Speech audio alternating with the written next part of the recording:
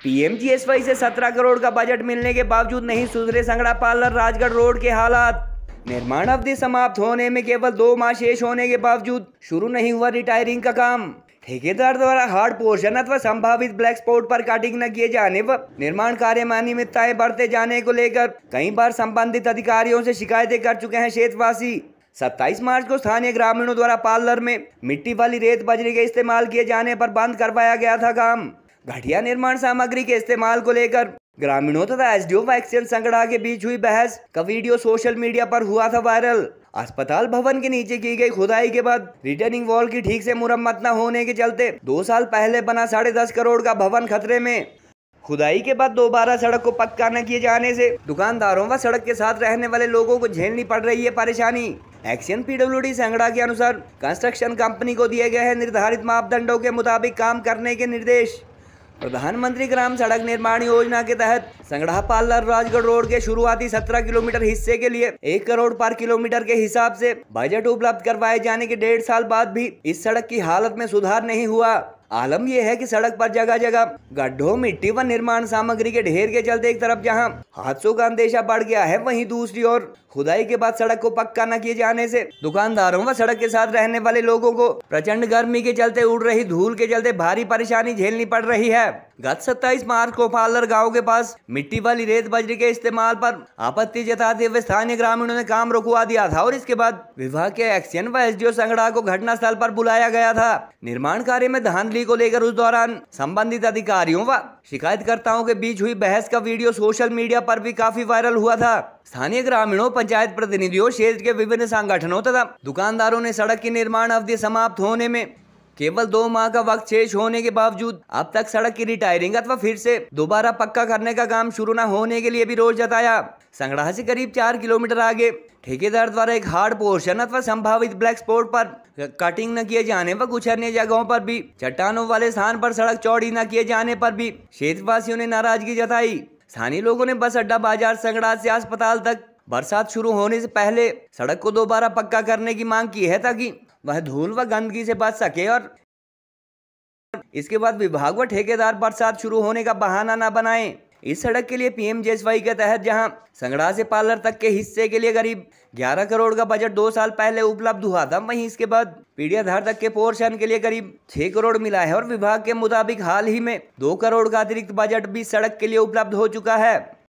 पाँच मई 2022 को करीब साढ़े दस करोड़ की लागत से बने अस्पताल भवन के निचली तरफ़ इस सड़क के लिए खुदाई किए जाने के बाद इस बिल्डिंग की रिटेनिंग वाल गिर चुकी है और पक्की दीवार की मुरम्मत की जगह विभाग द्वारा केवल तारों वाले कच्चे डंगे अथवा क्रेड वायर लगाए जा रहे हैं। पीडब्ल्यूडी के एक्सियन संगड़ा राजेश खड़ूजा ने कहा की विभाग द्वारा ठेकेदार अथवा चौहान कंस्ट्रक्शन कंपनी को निर्धारित नियमानुसार काम पूरा करने के निर्देश दिए गए हैं। उन्होंने कहा कि ठेकेदार को छोड़े गए हार्ड पोर्शन की कटिंग करने को भी कहा जाएगा बस अड्डा बाज़ार से हॉस्पिटल कैंपस तक के सड़क के करीब तीन किलोमीटर हिस्से का रिटायरिंग अथवा पक्का करने का काम जल्द शुरू कर पाया जाएगा। पार्लर जो रोड है, उसको जल्द से जल्द पक्का किया जाए। लोगों को बहुत ज़्यादा परेशानी हो रही है। मैं सुरेश पुंडीर, स्थानीय निवासी लाना पार्लर।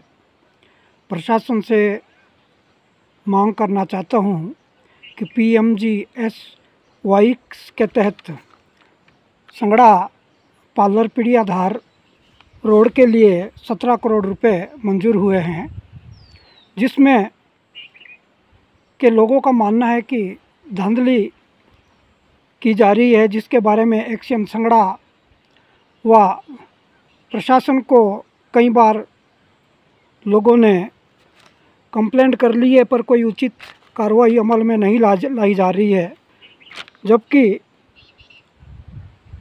इस कार्य में होने वाले काम में यहाँ तक कि खान से आने वाला डस्ट मिट्टी पुड़ियों में डाली जा रही थी।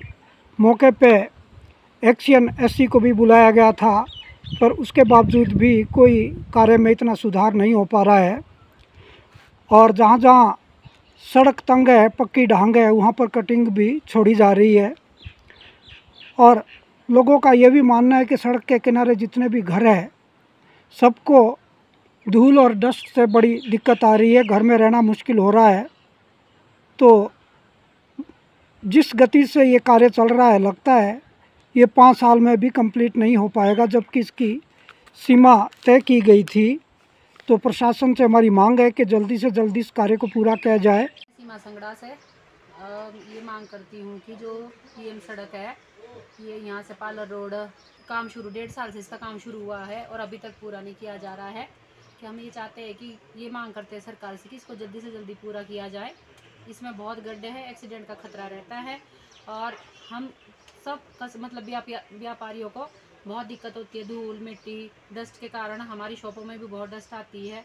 कृपया करके हमारी ये मांग है सरकार से कि इसको जल्दी से जल्दी पूरा किया जाए। रोड के बहुत खस्ते हाल है, जो कि एक साल पहले इसका टेंडर हो चुका है और इसके प्रधानमंत्री के इसमें ये रोड और इसके इतने है कि इसका पता नहीं चलता है कि ये सड़क गड्ढे में है, कि सड़क का बहुत ही बुरे हाल है, जिससे कि लोगों को चलना बहुत मुश्किल हो गया है और एक्सीडेंट का सबसे ज़्यादा खतरा हो गया है। और हम सरकार से निवेदन करते हैं कि इसके ऊपर विशेष ध्यान दिया जाए और इसको जल्दी जल्दी पक्का किया जाए। इस सड़क में जितने हार्ड पोर्शन है ना, इसकी सही ढंग से कटिंग नहीं की गई और जो आसान आसान पॉइंट है, उनकी पूरी की कटिंग की गई है।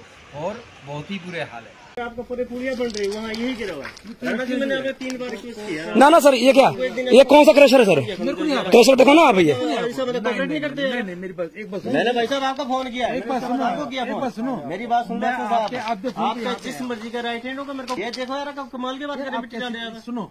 आपके आपने फ़ोन किया। फ़ोन किया इमीडिएट है। मैंने मेरे पास आपको साहब आपने फ़ोन कर दिया मेरे पास प्रेशर जो डल रहा है? ऊपर देखो मैंने वो स्टोन पक्का है सुनो। मैंने सैंपलिंग के लिए भेजा एनआईटी के लिए भेज दिया एक बात मेरी बात सुन लीजिए आप। आप पहले मेरी बात सुनेंगे आप बोलो। आपका फ़ोन आया। आपका आधा फ़ोन आया और मैं एकदम उतर के आया गाड़ी में बैठा देखता हूँ मैंने नहीं किया फ़ोन। किसने नहीं किया? शर्मा है हैं? जय शर्मा जयपाल शर्मा। हाँ जी बब्बू बब्बू तो आपके साथ है। मैंने आपको तीन बार बोला आपको फ़ोन किया आपने फ़ोन कर दिया भाई साहब। ये नहीं बस हमारा पता सुनो हमारा कितनी कच्ची चाहिए उसमें बीजी से आपने बात बोली आपने मार बोला ना फिर मालूम कर रहा था सुन तो लो।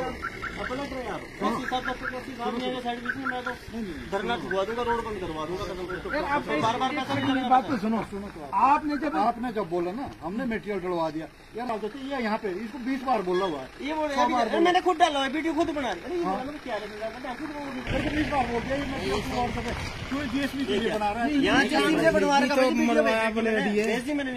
पूरा ढेर लगा आप नहीं कह रहे हैं ये बिल्कुल गलत है ये।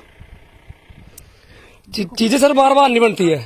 सर आप एक मेरी बात आप मेरी मैंने आपको फ़ोन किया। आपने दो मिनट में फ़ोन कर दिया। आपने क्या बोला मेरे को? पब्लिक के लिए आपने- आपने क्या बोला आपने? टैक्स पेयर हम टैक्स पेयर करते तब आपको पेमेंट मिलती है। जब आपने फ़ोन किया आपकी मेरी बात हुई। आज नहीं हुई। जब मैंने आपको फ़ोन किया हाँ। मेरी बात सुनो। आपने फ़ोन कर दिया। मैंने यार हम भी जो यही चाहते हैं हम भी यही है, चाहते हैं। कच्चा नहीं है। यार तुम्हारे को किसने बोला लगाने के लिए भाई? हैं? क्यों तुम कबाड़ बेइज्जती करवा रहे हो हमारी उठा के यहाँ पे? सर इसकी गलती भी नहीं है वो इन्हीं की गलती है ठेकेदारों की ना। बंद करो सर अभी पेमेंट बाहर फेंक इसको उठा के? मेरे को जेसीबी मंगा फटाफट तू यहाँ।